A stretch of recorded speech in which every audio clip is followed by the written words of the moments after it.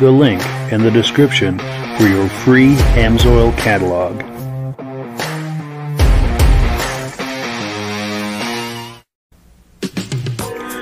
Before we get started, I'd like to give a quick shout out to some of our friends. The Eastern Snowmobile Racing Hall of Fame. Search for them on Facebook. Central Minnesota Pond Racing. Search for them on Facebook. The historic Lancaster Motel for the ultimate Eastern trail riding adventure. Crane's Snowmobile Museum at 172 Main Street in Lancaster, New Hampshire. The Vintage Snowmobile Club of America Quarterly Magazine. The New Hampshire Snowmobile Museum at Bear Brook State Park in Allenstown, New Hampshire. And lastly, if you decide to advertise with the Vintage Snowmobile podcast, this could be your advertising message.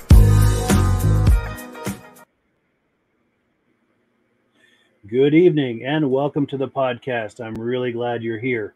Now, I have, as usual, a robust lineup of vintage snowmobile entertainment on tap for you tonight. But before we get into all of that, I want to make sure that everything is working properly. So, if you can see my face and hear my voice, I'm going to ask you to leave a comment. Uh, please let me know where you're viewing this from and whether you are a first time viewer, a regular viewer. Now, to our first time viewers, if this is your first time hanging out with us tonight, I hope you have a good time with us. I also hope that you decide to join us here each and every Thursday night at 9 p.m. Eastern Time. This podcast simulcasts to eight different places across Facebook and YouTube. So, wherever you're viewing this right now, just circle back in one week's time and we'll be waiting for you with another fun filled episode. Now, to our regular viewers who are here week after week, month after month, and season after season, you guys are the ones who make this possible, and we really, really appreciate that. So let's take a few comments. They're coming in hot and heavy. Let's take a few, and we'll get this party started. We've got uh, BCJ Vids saying hi there, hi there back. Nice to see you. Ah, our good friend Bill Nast is in the house tonight, saying, "Hey Mike, how's it going? It's going well. Hope it's going well for you too, Bill." Um, let's see. David from Alaska Railroad says, "Good evening, Mike, Robin, everyone. Nice to see you, David." Appreciate that. Jeffrey Patton is in the house. Good evening, Mike and Rob, regular viewer from PA. Now, I have to say, Rob unfortunately can't make it tonight. He's got something he's doing, but I sent him the link to join. So if he finishes early, he could pop on. No promises, no guarantees, but uh, you never know. Uh, Mad Dog is in the house. Uh, hello, Mike and Rob. Randy from Wisconsin, regular viewer from Wisconsin. Nice to see you, Mad Dog. Uh, also, someone, uh, oh, Sudbury, Ontario. This must be Kevin Culhane uh, watching on Facebook. Regular viewer, nice to see you. Says we're loud and clear. Jill Feen is in the house from Austin, Texas. Nice to see you. Now, Jill might be the young lady who was on that uh, cover photo. We're going to find that out a little later. Uh, Jim Holbrook is in the house. Uh, regular viewer, loud and clear. Nice to see you. My good friend John Spranger Jr. says, Good evening from Elon, Wisconsin. Nice to see you. Uh, ben Thomas is in the house. Good evening from Carterville, New York. Sounding good, loud and clear. We appreciate that feedback. Just a few more here. We'll take. We'll bring our guest on. Uh, Todd McMillan says hello uh, from Madoc, Ontario, Canada. Nice to see you. Uh, Reese Flurry is in the house. Good evening from Tupper Lake, New York. Regular viewer. He's one of our earliest and most regular viewers, and we very much appreciate that. Dave Trim is in the house from Carthage, New York. Nice to see you, Dave. And uh, Mark Redeel is in the house saying, saying pardon me, it's sounding good here in Ohio. Well, we appreciate that. Uh, let's not waste any more time here. We're going to bring my good friend on, Alan Gove. Uh, let me just click the right buttons here to bring him on the podcast and turn his microphone on. Alan, how are you doing tonight? Mike, I'm doing well here. I hear. Well, good, good. Really appreciate. It. Glad to hear it, and we appreciate you coming on. I know we've talked about this for quite some time, and it's nice to find when it all finally comes together. Oh yes, it is. Be a lot. It should be evening for yes, I think we're going to have a lot of fun. We've got a lot of show and tell. No, now Alan has shared with us a lot of images and video clips, which we're going to get right into. Uh, do you want to give us a quick, uh, maybe one minute uh, comment about yourself and where you're from and how you come to, to be interested in vintage snowmobiles and like that? Yeah, um, I started off uh, by my folks bought a snowmobile back in 1970, a 303 Wankel, and uh, we've still got it here in the family. And we got a, I bought a 70 Panther 340 Super Sack a year later, which is down in the barn. I got to do some more work on that. We got that back in the family. And I uh, got my grandfather's 72 Lynx that he bought brand new. We've got that in the family, which is um, my youngest daughter owns Jill, but she lives in Texas. So we throw it at my sister's place so she rides and gets exercise and stuff. And, nice. and I've been, you know, I've been snowmobiling since I was a kid like that. And years ago, my folks decided they wanted to sell the Wankel. And so they sold it to a guy. And and then uh, my youngest daughter says, ha ha, we want that sled back. So she ran into the guy and we got the sled back. She bought them both. So now the sleds are here to stay back in the family. That's cool. And was that her making a comment earlier? Yes, it was Jill. And this is this is Jill we're looking at right here on the screen. Yes, that's my youngest daughter, and my oldest daughter is Cheryl, who lives in the next town over. I'm not sure if she's on tonight or not. She's a big snowmobile also, but last two years they've been too busy uh, with the ski jumping with my two grandsons, so they're in the Eastern group. So they've been out to Lake Placid and everything jumping. Outstanding. Yeah. Yep. Good deal. So it sounds like at least three generations of your family is, is in snowmobiling. well, it's not really five because my grandfather was in there. He had a snowmobile. So we're up to five generations with the uh, grandsons um, who, who snowmobile. I got videos of them driving and riding. That's my oldest grandson will be 15 next month. So outstanding. Yeah, he can ride a snowmobile no problem at all. Good, good. So what I'm going to do is I've got uh, some images that you sent me. I'm going to pull them up and uh, maybe go for a little while and, and, talk about some stories associated with these. Yeah. I know this is a, a, a lot. Of, it brings up a lot of fond memories for you. What are we looking at here in this image? This picture here is my folks' uh, green jacket, my mother with the red slacks on, and that's my cousin. We're all. I went up for a ride that day to have a hot dog somewhere. Something we used to do every week and uh, get together and we mentioned where we're going to go and meet, and, and uh, mom and dad would ride double on that sled there. And underneath that seat, there was a three inch box, and that's where mom stored all the mustard relish hot dogs. So we called that mom's lunch wagon for a long, long time. Uh, my sister would ride with me on my sled at the time. And my cousin, we'd all go ahead and get the fires going. And then other people would come in and meet us at certain spots. And we all have a hot dog and marshmallows or whatever we wanted to do, and then we'd all head home. It'd be a, a Sunday afternoon ride. Wonderful. and I don't know about I don't know about the viewers, but I know I have, have a lot of wonderful memories of cookouts on the trail side like that. If, if viewers have memories like that, please weigh in with comments. We'd love to hear uh, that, that you have similar experiences or memories of that. But but please please continue, Alan. Yeah, we still do uh, hot dogs and stuff. Uh, some of the clubs meet certain places down here. I know the Mascoma uh, club down here, Springfield, we, they have a hot dog get together, and the Cardigan Mountain Club, which I also belong to, they get together. We have some hot dogs. And, well, I believe two years ago we had a guy, and he always had a snowmobile. Matter of fact, his original order, my 7340 Super Sachs, we got him back out on a on his new sled, and we pulled off side the trail, and I said, Bob, it's time for a hot dog. He said, I haven't done this in years. So we built a campfire, and us six guys who were retired, we all sat there and had hot dogs. Just like old times. Just like old times. Yeah. That's amazing. And we do have some comments coming in. Okay. Let's see. Uh, trying to find my place here. Okay, I think this is the last one. Uh, Midnight Rider says, Another wonderful evening. Looking forward to another amazing show. And thank you so much. We appreciate that compliment. Also, good. our good friend Glenn Ford is in the house saying good evening. Regular viewer from Vernon Center, New York. Uh, Kevin Culhane, who was on here a couple of weeks ago, says loud and clear at the office in Sudbury. Office is code for the bar, my local watering hole. Very cool. I like how you do that. That's some cool wordplay there. Uh, Steve Woodward says rock and roll. Thank you. Good. And then uh, Michael Carvela says, Good evening, Mike, regular viewer from Upper Peninsula, Michigan. So I like we've got a nice mix of viewers from all over the U.S. and Canada. I recognize um, regular viewers because I've been a regular viewer on your show here for quite a while. So for a very long time. Yeah, we appreciate that, and I love when it all comes together. We bring you on the show like that. Oh yeah, um, oh yeah. I'm glad to meet you there at Lancaster. We discussed a lot. This is the group. That's right. Here's a, one of the a group of people just out riding. We all met at the intersection of a trail. There's a variety of snowmobiles. Half those uh, but we had a good ride that day. Nice. And this looks probably early 70s, I'm thinking. Yeah, this is 70. I'm guessing 71. 71. Yep, somewhere along it. Back then, the, the town didn't plow this section of roads. It was only plowed, uh, only maintained in the summer. Now yeah. it's maintained year round with that intersection. Uh, I know where the, exactly where that is, but you look at the background, it's all trees and all grown up now. Because that was it's all grown in. 50 years ago. Sure. But at the time, you say in the winter it was just snowmobile trail. Yeah, just a snowmobile trail. Because back then we had snow.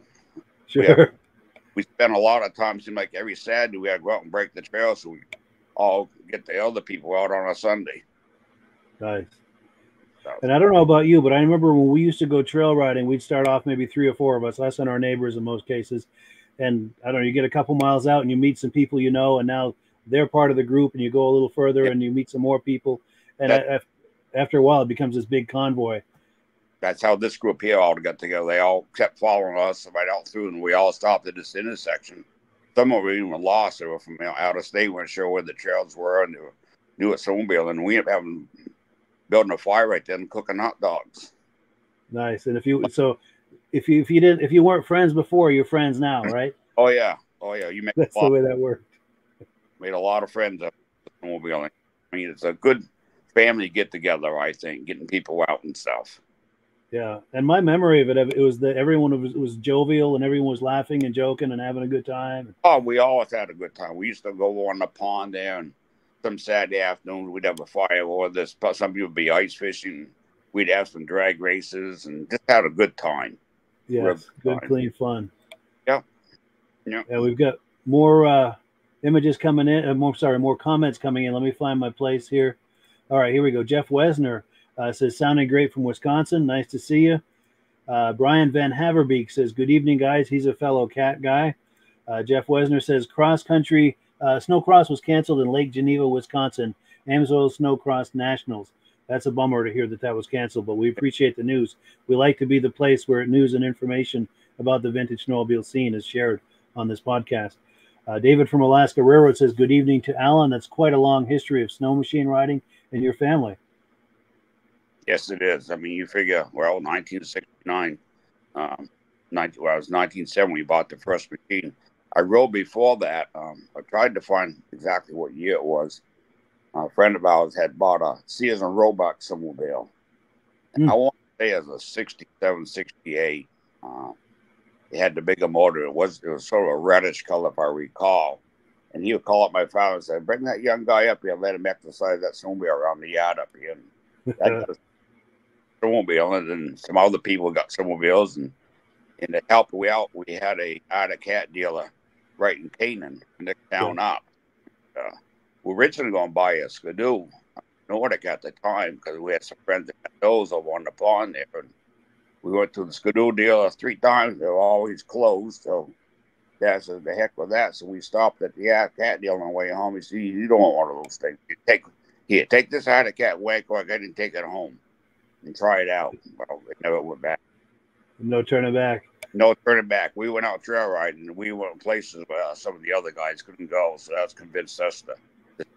I've had Yamahas. I've had Polaris also in between, but I'm back to riding a, a 2020 Cat now. Nice, nice. And we've got plenty of comments coming in too, commenting about liking these images and you know the memories and everything. Uh, Jim Holbrook is asking where is this photo taken, and I, and I, believe that was in New Hampshire somewhere. You said right? All these are all New Hampshire photos I've got. New Hampshire. Yep. Nice. And then someone said we had cooks too, and I have 12 to 14 sleds that are vintage. Good. Cool. And then uh, someone says, uh, "Can you explain what is a 73 Super Sachs?" Uh, the Sachs, it's a 340 SS Super Sachs. Uh, they only made so many of those. It's a little bit smaller motor than the 368 Sachs, but it puts out more horsepower, and more torque. Um, they put them in the 1970 Arctic Cats back then in the Panthers. And I think they had some in the, the Lynxes and some of the Pumas. But a lot of the around here would love to have that sled I got because it's one of the originals with that motor in it. Uh, I use them for racing. Nice. I did I did race it myself here a few years ago. Once I got it back, and uh, I was doing well, and I got into a corner with the other with the leader. I blew a piston, so did he. So we uh, we got bumped out of the race. Wow. 1055 age, grouping up. Wow. yeah, I was one of the old ones. Crazy. Oh yeah. Jeff Wesner is talking about the trail systems back then. He says we do a lot of ditch banging in Wisconsin, and until the 70s, the, the clubs were burned. I'm not sure. I'm not sure what it means by that, but the Yeah, I 70s, mean, the 70s had the club around here. I do know that. sure. We did a lot of ditch banging ourselves. You know, we had homemade drags that we made out of wood, and excuse me. Then years later, I picked up a '71 Wankel that I used for grooming trails. Uh, I wish I had pictures of that somewhere, but I had a homemade drag made up out of metal, and sort of copy of the old track pack. I used to go out at nine o'clock at night and get back in two o'clock in the morning and go grooming half the night and go to work the next day. Wow. That's true. Everyone was so excited about it and committed to it back in the day. Everyone didn't mind staying up half the night or, you know, whatever it took to, to contribute to the trails and making everything happen. Oh, the clubs And, really uh, themselves around here now. I mean, we got guys that are out there. I groom once in a while for them, but I usually try to go out during the day. Uh, go three o'clock in the morning, jump in the groom and groom. for the Nice. Some- There's not much traffic on. Sure. Oh, and then uh, let me see. Jim Jim Holbrook says the cat dealer in Canaan was Tux. Is that your memory? Was yes, it was. Nice. Nice. I got got three of his sleds. wow.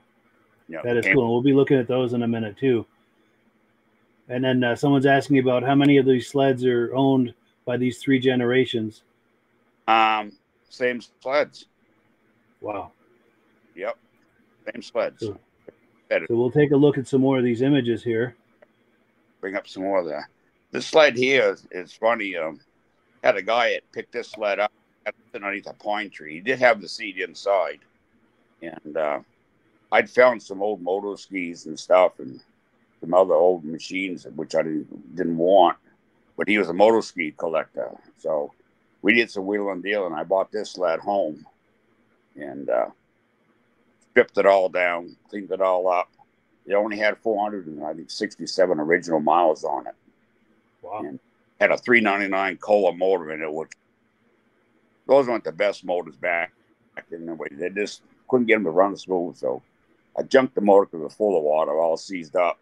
And I put in a, uh, a 368 Sachs motor into this machine.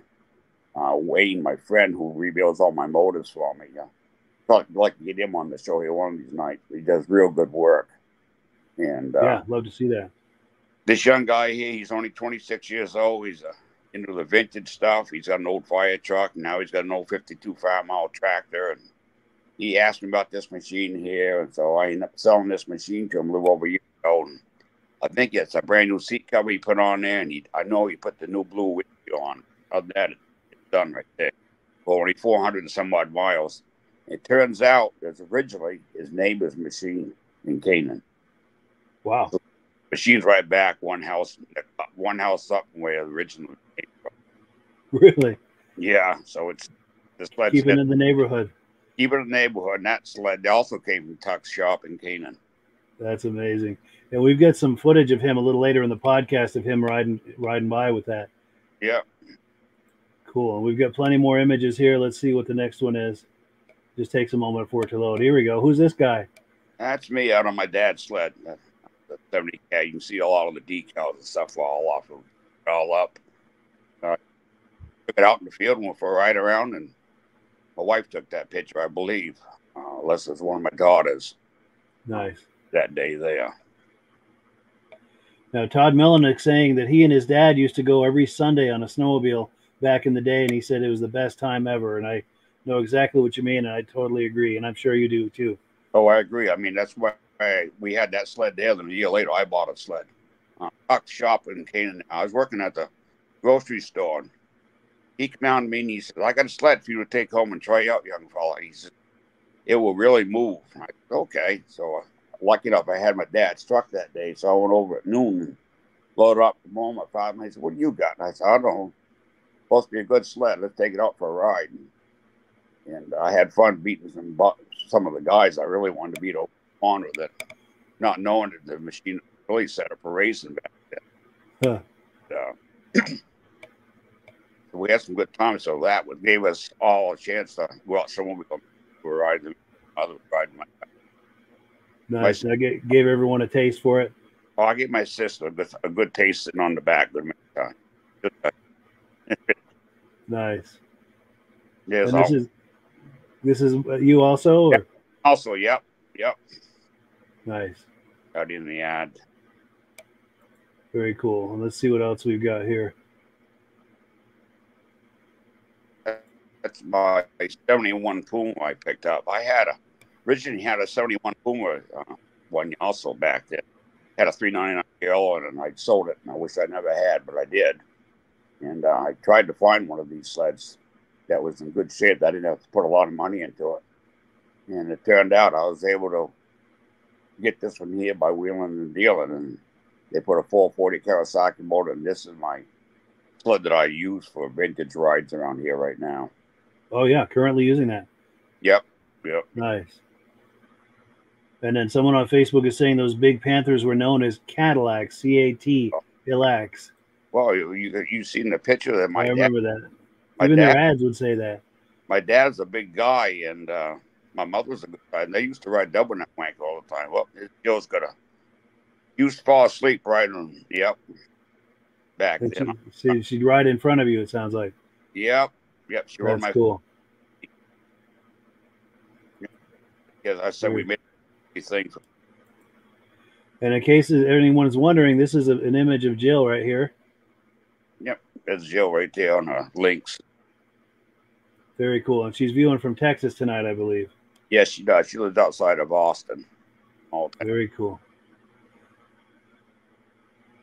Yeah, she says used to fall asleep riding with Grandpa. Those must be good memories. Oh yeah, Yeah. Cool deal. Cool deal. And then let's see what else we've got for images here. Is this? A, no, that's a that's a Panther, isn't it? Oh, that's my 340 Super Sachs. That's when I raced it. That's the one. Yes. 52J. We named that after the jail. 52J. The original. Still owns that machine, believe it or not. She won't sell it back to me. Really? Yeah, she's out. It's my name. It's going to stay that way. But you can do what you want to it. Sure. I just, like I said, I just put it on the motor into it last summer. I got to get the rest up and get let back up. We probably never race it, but once it's back in race. She used to race for um, LaCroix down there. She raced Yamaha for a good many years. It did well, real well. Sweet. Speed is not a. He's got a, a heavy full like like I do. So, here we are. Here we are down at the show. Here's, here's Robbie got a note on there. Uh, Yes, Robbie Lacroix. You because you were Yep. just talking about racing for Lacroix, Yeah. and Robbie says she was a hell of a racer, and she rode a Yamaha GP 292. Yes, she did. And got so the even the girls up in Hermon, Maine didn't like her showing up. Image here we were down the show we put on that was down in Andover on 2020, I think this one was. And uh, just be, actually just before COVID, uh, we took first place in people's choice with the with the the one on the left. My one of my grandfather had the Lynx. Yep. And stuff. I think you got another photo picture of that sled there with that big picture of my folks together. I think I do here. It might be the next one. No, this Yeah. is another one of the show. I think. Oh, with a picture in front of it. Yes, yes. Yeah, we put that picture in front of it. And my sister and I would just talk to people, and people just, you know, this way they could really be, you know, describe where the machines came from. And I think that helped us win that day. I'm sure it does. Because there was a guy beside me, he had two Kawasaki's, and he said they're worth $18,000. Here we were original stock machines. Sorry. Wow. It was, it was a good day for us. yeah, no doubt. Oh, and Robbie Lacroix says that one sled they raced over 5,500 laps, Yeah, he did. He still got that sled, I believe. and he says this is a great picture of the Goves. That one that- that's in the middle of the screen there. Yeah, he, And then, he, uh, go ahead. I'm sorry. give him back what town. I live in Enfield now. Enfield, yeah. Yeah, just outside of it. I came Ridge Nice. And Brian Van Heverbeek loves the cats, and he is a cat guy. Oh, yeah. Brian Brian's mostly a kitty cat guy, but he loves cats. I believe all cats. Yes. Um, my wife and I, I haven't discussed it, but I would like to find a kitty cat just to add to my collection. Nice. I might get rid of a. I got a couple other sleds I can work on. Somebody wants a seventy cat, just you know, I've got one down back. It's got a. I got to put another motor into it, but the rest of it's all that. Nice. I'm just out in the field here riding again. Nice. Yeah, that Wankler's got that deep, the strongest sound to it for sure. Yeah. There's Joe on a 292 Lynx. Uh, my, Yeah. grandf- my grandfather bought that machine. He was a trapper. Oh, really? Yeah, I, I used to go. I, I'm a trapper myself. Yeah. I learned the trade from him. He used that machine run the trap. Check his trap lines. Yeah, yeah. He had a quite a long trap line. I one day caught almost.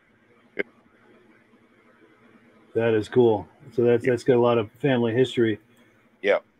And then um, the other thing I wanted to point out, this image here we're looking at here is the same image as this cover image. I've got a program that removes the background, so I remove the background, but it's the same image. Right. And uh, and I just put some text around it and some purple behind it, and yeah, that is very cool. Oh, and there are more comments coming in here. They're coming in hot and heavy, which is a wonderful thing. Uh, ben Ben Thomas says first snowmobile he rode was a '73 Lynx 292, and that sled is still in his family, which is cool. Good. Good. Glad to And- see that. And then Jim Yeah, Holbrook says he belongs to the Lyme Pinnacle Club. Yeah, I recognize that name. Nice. And then uh, Josh Leviker, I know he was some on. of Lyme guys. Oh, nice. Yeah. Josh Leviker, I think he was on either last week or the week before. He says, Good evening from Turin, New York. I think two weeks ago. But yeah, that's cool. Good. Had, he's had- had all the snowmobiles and the paraphernalia Yes. out there. He was out in New York, correct? Yes. Yeah, he should have. That guy should have turned that into him. He's got so much stuff. Definitely. He had some amazing Yeah. stuff. It's good to see. All them Yamahas he had unbelievable. Yes. Okay, what else? Here we go. Is this a more current sled? Current sled. my oldest daughter Cheryl, she rides. Like I said, the last couple of years they were too busy jumping with the son. I foresee her get snowmobile and more again once they grow up and on their own. You know, they're in the teenage right now. They get over that 18, they do what they want. And she'll probably get back in the snowmobiling again more. But she still got Yeah. that stuff. Oh, yeah. The, I remember um, I bought two brand new Polaris back in 91. Carol and Yeah. Joe. We had about six inches on. They said, Dad, can we try out the new machines? I said, Yeah, go ahead.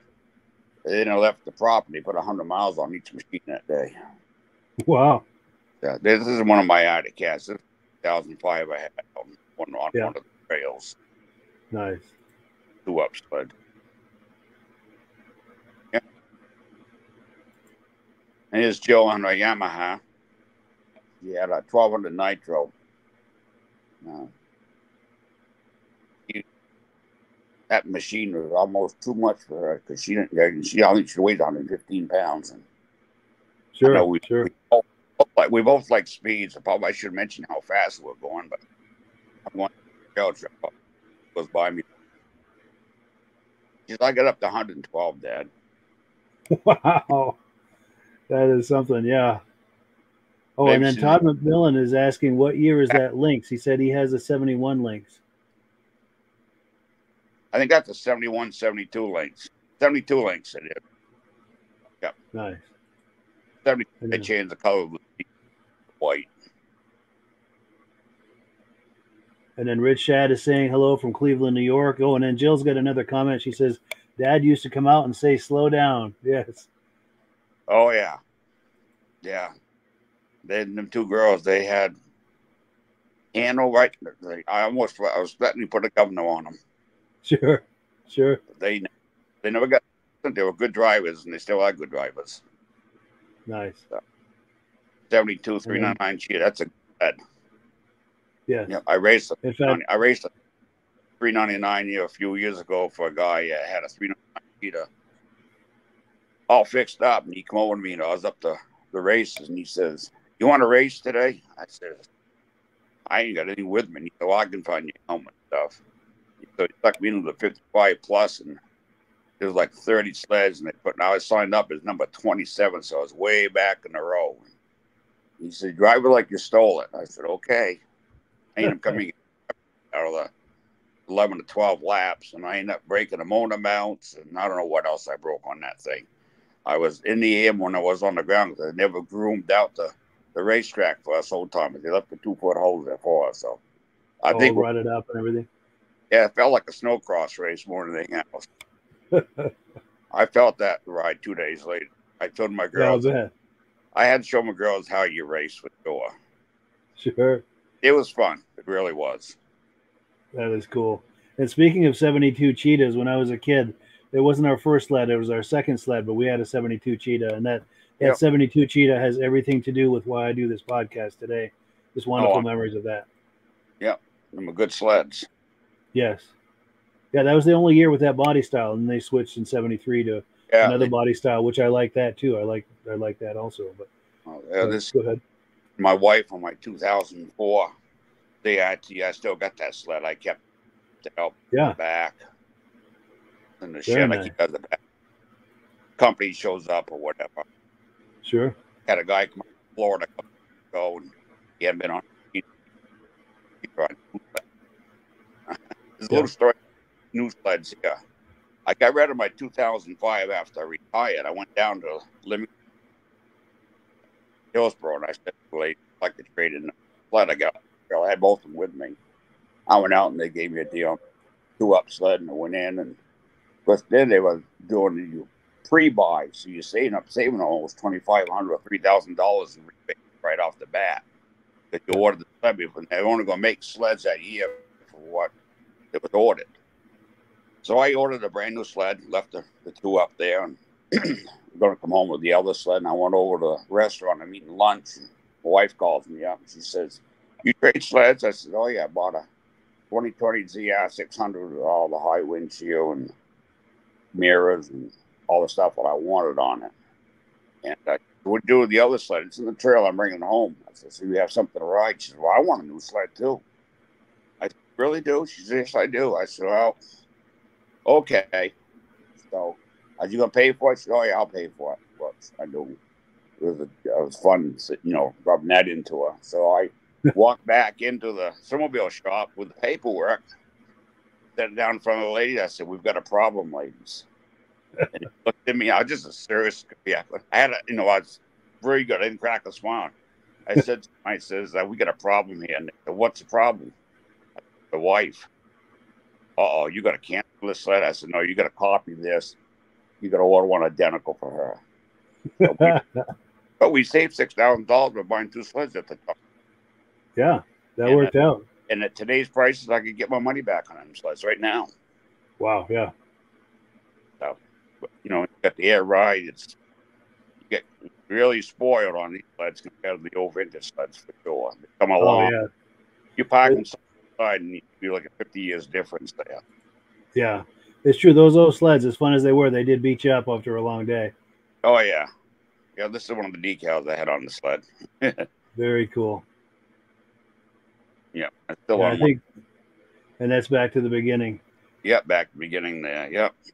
Oh, cool, cool. So let me take that down, and uh, we're going to do Amsoil real quick, and then uh, we've got plenty more video clips and things to talk about and show. And I can't believe we're like over halfway through already. This just flies did- by. See the clock there. Sure. But uh, where's my Amsoil promotion? We've got a, a promotion right now on Amsoil. If you're a preferred customer, uh, you get this free eight in one T handle screwdriver with every order over $75. This promotion goes on until March 26th. You need to use the promo, co- uh, promo code free tool. Now, this is for preferred customers, and the way a preferred customer program works is there's a $10 fee to join, much like a Costco membership. But uh, that by doing that $10, you're going to get that ten dollars back probably on your first order because instead of getting the the retail price now you're getting 25% off on just about everything. And once you hit hundred dollars, you're getting free shipping. So it's an incredible value, and uh, it's a great time to do it now because you get this great tool. If you're curious about this, there's a link in the description uh, that says preferred customer program. Just click that link. Just a couple of clicks to join the preferred customer program. Once you've joined that, then click the Amsoil logo and start shopping. Everything you click on is going to come up at that deep, deepest level of discount uh, because you've joined the preferred customer program. You're going to save all that money right on the first order. And once you hit $100, you get free shipping. It's an incredible value. Um, so cool. We've got plenty more to look at tonight. Uh, yeah. Let me take a look here at um, my next video clip. Now, you were at a, a vintage snowmobile show. Uh, I think it was the Andover Snowfest. Yes, I was this year. I didn't enter anything into it, but I did go down and see what was going on. I ran into some of the old friends and stuff down. Nice. And you shared some video clips with me, and we're going to take a look at those right now. Let's take a look. Yep. Just taking a moment to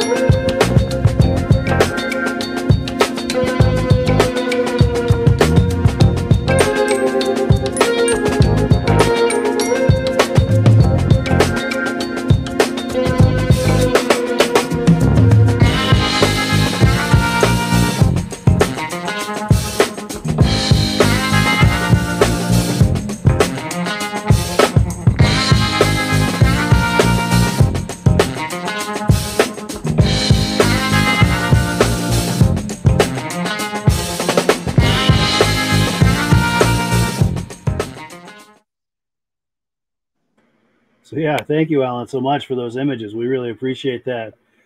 This is one of the lower years. I've seen a lot more sleds than that. One other year, year we were down there. Uh, side of another two, three hundred feet of them, all lined up up through there. Wow. Yeah, I, the weather, I think what it was this year with the rain and stuff. It's been such a mild winter, yeah. Uh, even I wasn't into it. That's why I couldn't load myself to load the sleds and take Sure. Us, like my sister still snowmobiles a lot. He yeah. kind of retired a few years ago, and so I, mean, I think I'm gonna buy a new.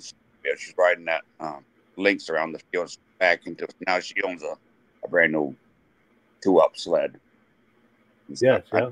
Out at cab. Then then her husband got back into and picked up a a used yeah five right that. They live right on the rail trail, so it's pretty handy for them.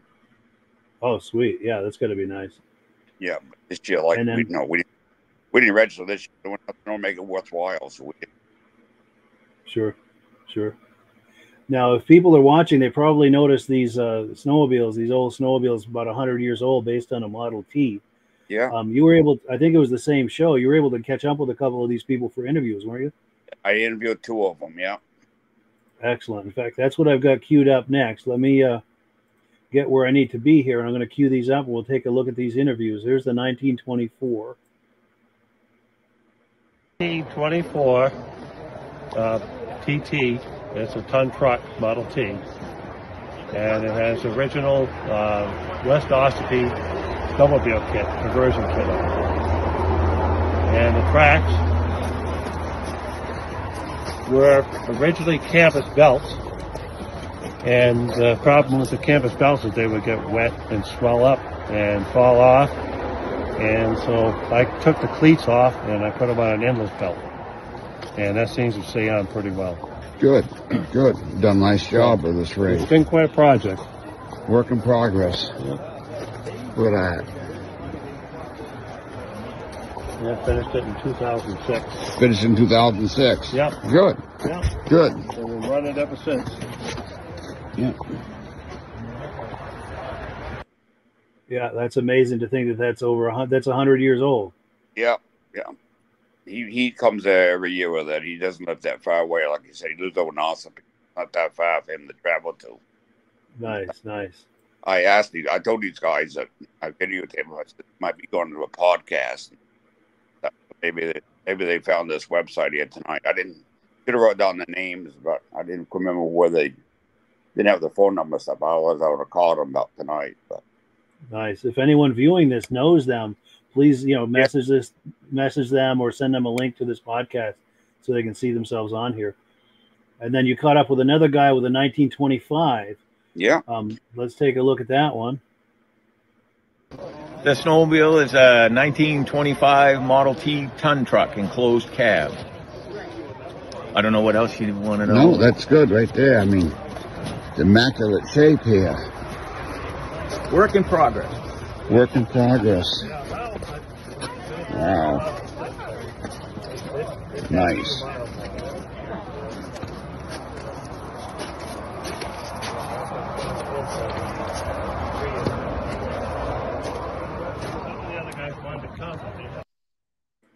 Yeah, very, very cool.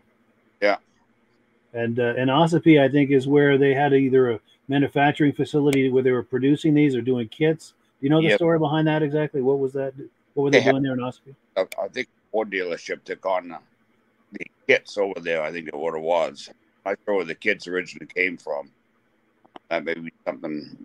When I see them again next year, I'll get on and get a little more information about them. We can do a podcast on them guys again and get more information. That would Maybe- be amazing. Maybe even get them involved on a podcast. Yeah, bring them on sometime. Yeah, if you can find out who owns that or who, you know, who's got- associated with that.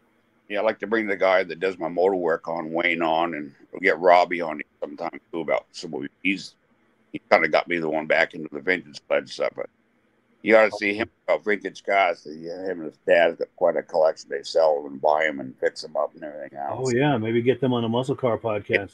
Yep, that's yep. Great idea. And then Jeff Wesner is making a compliment. He, he likes the images from the show that you took. Yeah, And uh, let's see, Ben Thomas says, "Looked like that was a very nice show. Quite a variety of beautiful looking sleds." yes. They have a good they have a good show down. They've done it for I think twelve years now. Yes. And Mark Radil says, "Nice pictures. Great to see participation from the the young lads in the hobby. Start them young and hook them for life. Absolutely. Yeah. That is the future of this hobby. Yeah, I mean, I got these sleds here. I'm hoping they're going to stay in the family and hoping maybe the grandsons will kick in and maybe one of them once they get up up to beyond the teenagers kick in so we can keep the sleds going here after I'm long gone. Yeah, that's their legacy. You know, the family legacy. That's amazing. Yeah, be the fifth generation owning them. Yeah, and if that doesn't inspire them to keep it going, I don't know what will. You know, I don't what else will is right. Yeah, you know, not much else you can do. Yeah, longevity. I got longevity blood in me, I guess. Like my grandmother lived to be 104. My father was 91. I think my mother was 87. So wow, I guess that I'm gonna cool. well, you know what, for a while. yes. I'm on. I I'll be 70 in July, so Wow. Yeah, I'm 10 years behind you. And uh, John Spranger Jr. says, Thank you for the great pictures. Uh, ben Well- Thomas says, uh, Loves that 1924 TT. Awesome looking. Ah, here we go. Our good friend Rob Hilditch is saying, It's a good show, but it's too loud where he is right now. Uh, he can't hear it, but he likes the pictures. So it Good. sounds like he may not be coming on because we're. I think he's at a, is a he's at an event, and I think it'd be too loud for him to to try to come on and join us. But I'm, I'm glad he's viewing it though. He is he's very committed to this podcast. We got to give him props to that. oh yeah, he's he, very committed to this podcast. Yeah, he's very committed. He does a well, good job of uh, advertising the Amsoil. He does. He brings a lot to the show for sure. Yeah, I'm switching my And- stuff to Amsoil. Nice, nice. Yeah. Any if anything we can do to help you on that, just message me behind the scenes. It's in your list here. Yes, I appreciate that. And Mad Dog says I would love to have a Model T conversion. I've heard they were used by mailmen in rural areas. Nice stuff there. That's what I heard too. They were used back then. Yeah. In fact, that Christmas special, uh, Santa Claus is coming to town. They've got a mailman in one of Yeah. those. Yeah, I remember when you talk about Christmas, um, friends of ours, Siemens, another big family group of snowmobilers we snowmobiled with.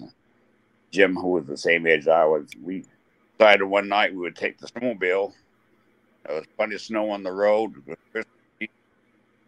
Get, him dressed in a Santa Claus outfit, and we called up a whole bunch of people saying that Santa was going to be going by at such and such a time and have the kids. And we drove right up over the lawns, and Santa waved to him, and off we go down to the next house. And the police didn't bother us at all. They just, you know, we were right down the road to the next house. It was, it was fun. is cool. Yeah. I'll bet. I bet there's a lot of little kids that have wonderful memories of that today as adults. Oh yeah, yeah. That is cool. That is cool. And Jill says they have the vintage snow suites too. Oh, we still got the snow suits here. Yep, I, I back. Oh, I- suits. Yes. Yeah. mine doesn't fit me anymore, but I did wear my dad's at that vintage show Now I still wear it for the shows. Nice. I still got all them jackets, even that green one he had on. Nice. Now we've got a few more video clips, and the clock is definitely ticking. We've got we're we're nine forty eight already. I don't know where this time went. That means Fun. we're having fun, which is good. Yes, But it is. uh, we've got a, a video clip you took of a seventy three Polaris TX Starfire four forty. Let's roll that real quick, and then we'll catch up on the other side. Yep.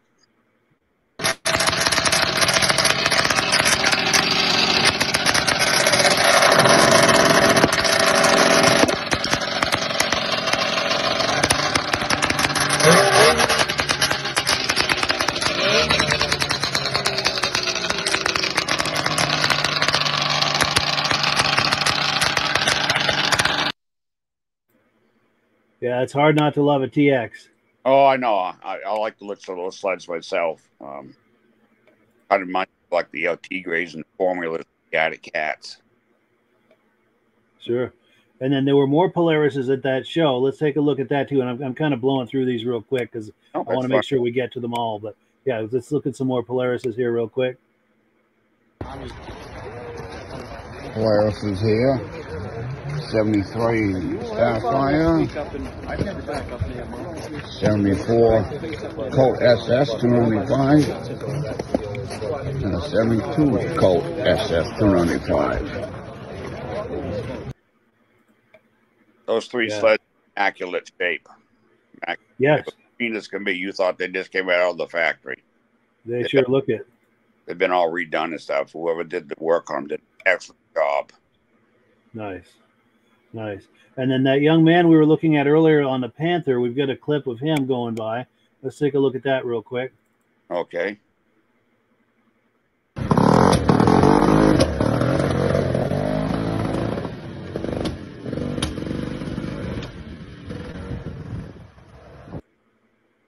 Cool deal.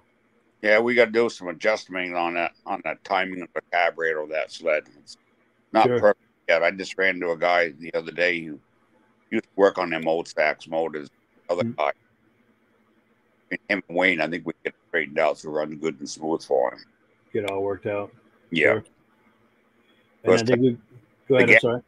gas you get nowadays is the best. I mean, I'm running I'm running racing fuel in my Puma. Really Wow. runs. Wow. And then the other one, I because I want, I, and I apologize, I'm rushing, but I wanted to make sure we get to all of these clips, and we got one last one. It's about three minutes long. Um, this this is some uh, clips from the show that you went to, and I put a little music under it, just kind of put it all together. Let's take a look at this, and we'll catch up on the other side, and we'll, uh, yeah, let's take a look.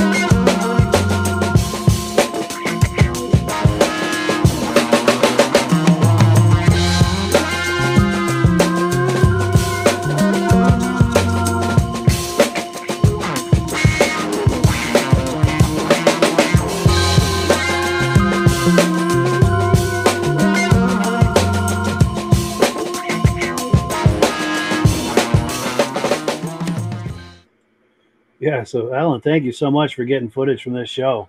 Oh yeah, I like that John Deere right there, the motor up through the hood. Yes, That's one of the sharp ones.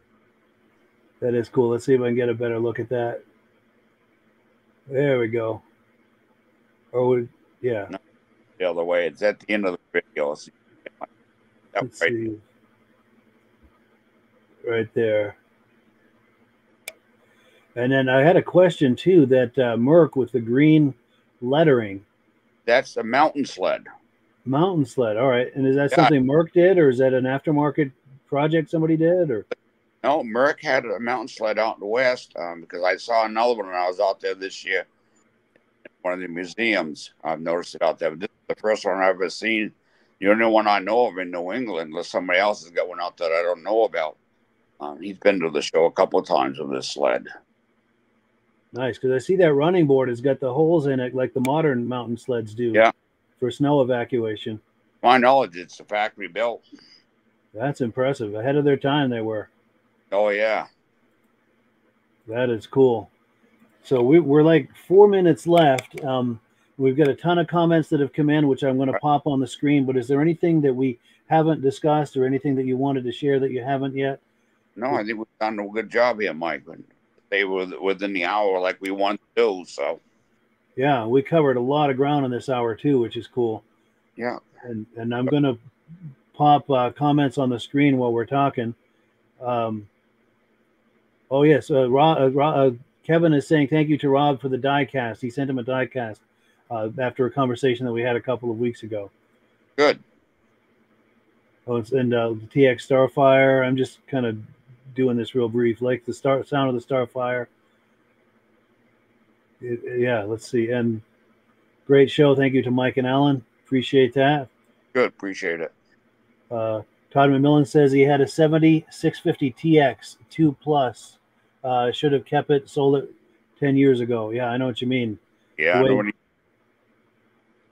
The way uh, the, the interest that's t- that, that uh, becoming into this uh, into the vintage snowmobiles, you know, everyone sold a lot of the things that they didn't realize would turn into being as collectible as they are. oh, that's the thing I never expected to be. If I known it was gonna be like it was now, I would have bought me a, a King Kat bat in the day and put it in the in the pond. Totally. stored it. and I could have sell it for twenty five, thirty thousand now. You don't want to pay two thousand dollars for one bat. Yeah, Money in the It's- bank.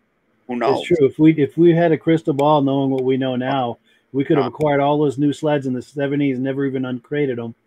You know, and they'd be they would have appreciated. You know, I don't know how many times by now. You know, but It would be- uh, Interest rates in the banks, that's for sure.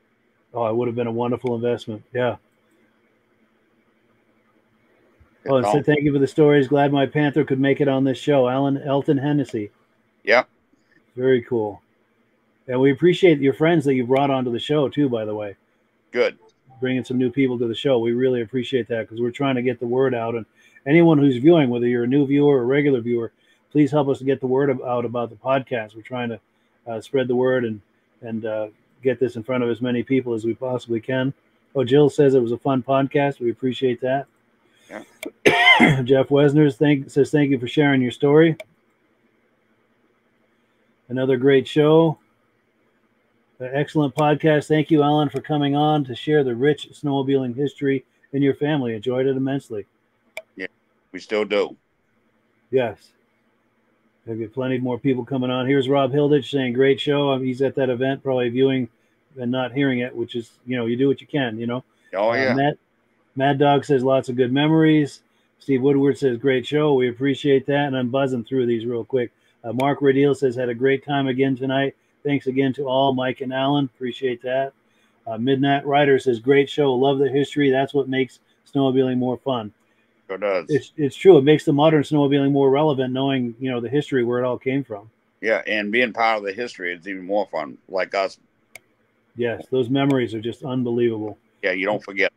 No, all of us who were there back in the day. I mean, I was just a little kid, but I have such wonderful memories of the early '70s.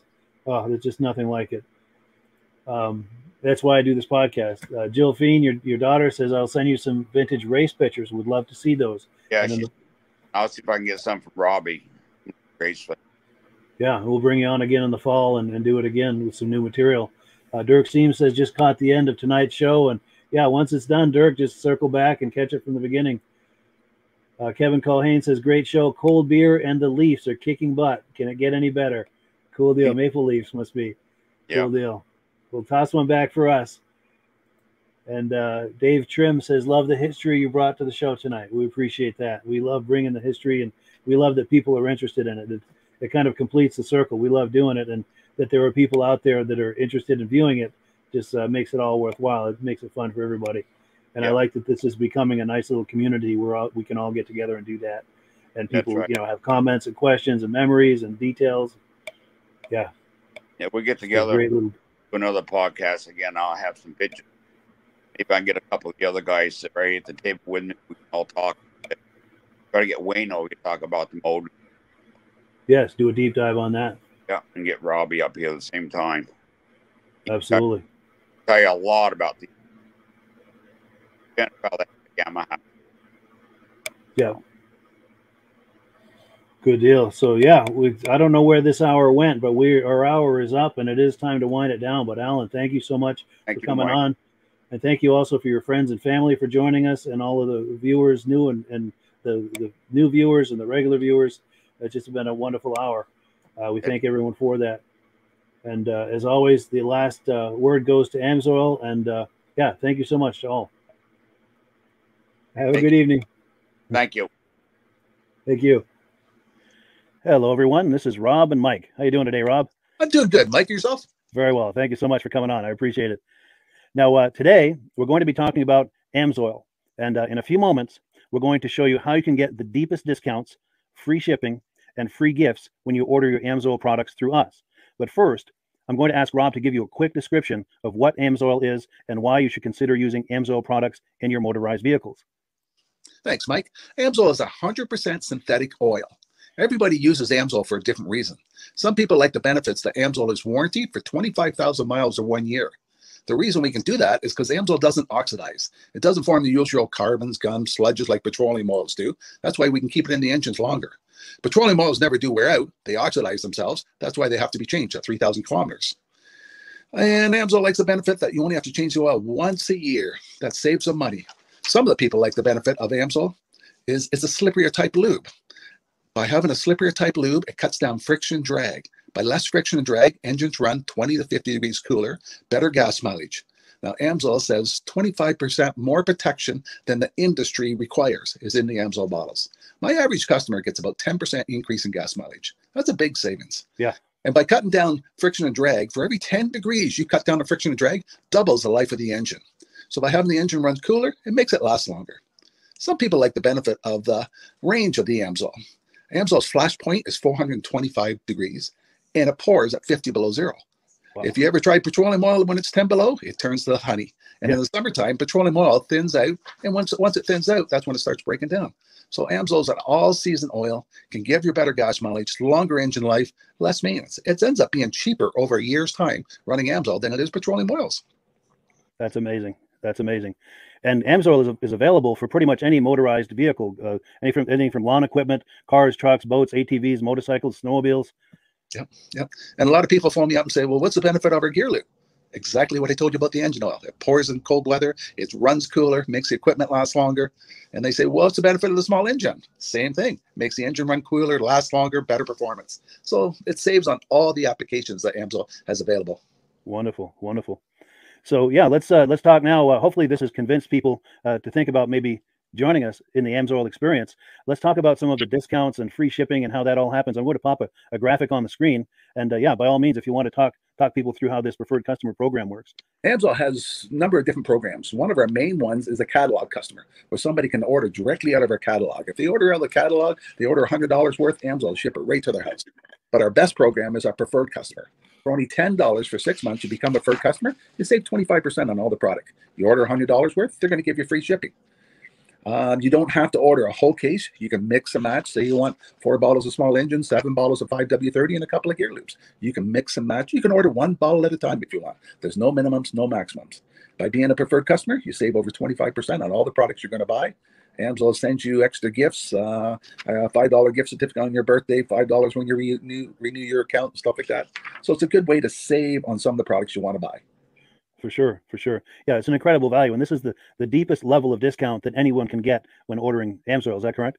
It is. It is. Wonderful, wonderful. So let's take people through the the step by step experience of, of placing an Amsoil order. Then that would include signing up for the preferred customer discount, or sorry, preferred customer program, so they can receive those deepest levels of discount. So let's go to the website. This is what the website's going to look at look like. These are some screenshots. If you once you go to amsoil.com, there's a link in the description, or you can just type that into a browser, amsoil.com. This is the page you land on. At the upper corner of the page there, you see how I've circled in red.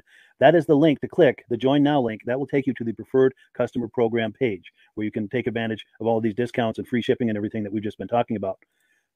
This is what that page looks like. In the lower right, you're going to click Join Now. This will pop up. You select the duration you'd like, whether it's six months or 12 months, and click Add to Cart. Now, once this, this uh, pop-up goes away, you'll be back on the main page. And the upper left, you'll see where I've got that red arrow. It says Shop. Now you can start shopping for products, and on your very first order, you're going to get these discounts and the free shipping as long as it's over $100. You'll get all of these benefits right away. So once you click shop, it's going to take you to uh, some product, the product page. There's different types of oils, lubricants, so on and so forth. For the benefit of this exercise we're doing now, I'm just going to click motor oil. It shows different types of motor oil. Let's click gasoline. Now this takes us to an item. It's uh, their synthetic motor oil, and you can see the item there. And there's choices for different viscosities. But take a look at the price. Let's take a closer look. Let's zoom in. Uh, but if you've joined the preferred customer program first, you're going to automatically get the deepest levels of discount. That's what we're looking at here. You're saving three dollars and eighty cents on that quart of oil instead of paying sixteen twenty nine. You're now paying paying twelve forty nine for that quart of oil. That is the deepest level of discount you can possibly get. And then uh, you just add the, the, the quantity that you'd like. You select any other items that you're thinking about, add them to the cart. And once you uh, click add to cart for the final time, you're going to see this come up at the top of the screen. It's going to show your items and your your um, the total that you're at so far. Pardon me. And then uh, you just click view cart in the upper right, and that'll take you to your cart. Uh, take a close look here at the upper right. That blue box shows that you're getting free shipping. You're eligible for free shipping on this order because it's over $100. That little yellow box shows that you've got the preferred customer membership on your order that gives you the deepest levels of discounts for the next six to 12 months. And then below that, you've got the, the items that have been selected. I just, for the exercise here, I selected nine quarts of the signature series, but that brings us up over $100 for the free shipping. We're saving $34, $34.20. And if you're ready to, to finish, you click checkout now, and that takes you uh, to this screen here if you haven't signed up with an AMSOIL account at this point, just click in the lower right to create an account, create a new account. It's going to ask you for some basic information, uh, name, and those types of things. Now, let's take a closer look. You'll see this gray shaded box. This is a very important box. This is going to ask you if someone has referred you to AMSOIL. And if so, please enter my name. My name is Mike LaPierre. It's spelled right there on the screen for the correct spelling. And also the referral number, 304-555-94. That's how um, you make sure that Rob and I get credit for this. Now, in the interest of full disclosure, I have signed up for AMSOIL under Rob. So when you order using this referral number, Rob and I both benefit. So if you enjoy these podcasts that we're doing, this is a wonderful way to support the podcast because when you order uh, using this referral number, Rob and I both benefit, and the commissions I make go directly toward offsetting the cost of doing this pod these podcasts. So I thank you in advance for that for using my referral number. I very much appreciate it. Uh, and once you've done that, you just go into the next screen to enter your payment information, and you're done. Now, once you've entered, once you've placed your order that's over $100, uh, and that that order includes your AMSOIL preferred customer program, you are now eligible to get a free DVD from myself. Now, this is going to be either a muscle car DVD or a vintage snowmobile DVD. Uh, use the email address on the screen, WKSpodcasts at gmail.com. Send me an email. Let me know which email, I'm sorry, let me know which DVD you would like me to send you, the muscle car or the uh, uh, vintage snowmobile DVD, and I'll get that right out to you. As you're typing in that that email in the subject line, be sure and type in capital letters "free DVD requests" so it stands out as I'm checking my email, and we'll get that right out to you. So I guess the last thing, Rob, that we wanted to talk about is uh, if someone is considering AMSOIL as a business opportunity. Um, yeah, yes. If anybody has a retail or a commercial account and they would like to buy directly from AMSOIL, just send Mike a line. He'll show you how to set up and you can buy directly from AMSOIL. But if you are interested in starting your own part time business, a part time business that can grow into a full time income, Mike and I will show you the AMSOIL marketing plan. AMSOIL has a large selection of products that cover almost every application. So it doesn't matter if you're into snowmobile, boating, or ATVing or, or hot rods, we have an oil for every application. It's a fun type business. That's I really enjoy doing. Where else can I go and have fun and make money doing it? And Mike and I are here to help you all the way along. If you need any help on how to promote or or to find new accounts, we're here to help you. For sure, for sure. So when you sign up under that uh, that number, this 304 555 94, you're getting Rob and I as a team.